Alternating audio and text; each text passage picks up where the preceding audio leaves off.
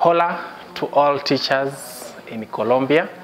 It's my pleasure to be here in uh, this wonderful country.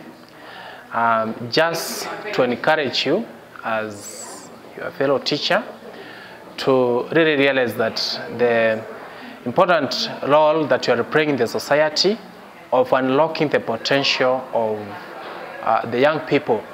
They have so much potential. Every single child has a talent, has the potential. So we are the ones that will really unlock this potential. And then uh, we also need to realize that uh, they come from different backgrounds. So um, depending on uh, the different contexts where they come from, we can uh, just be creative to really uh, enable them really be able to enjoy the lessons that we deliver to them. And then the other thing is just to motivate you, keep working hard, have dedication, commitment, do your work with love and passion because you are going to change so many lives. Thanks you so much. Muchas gracias.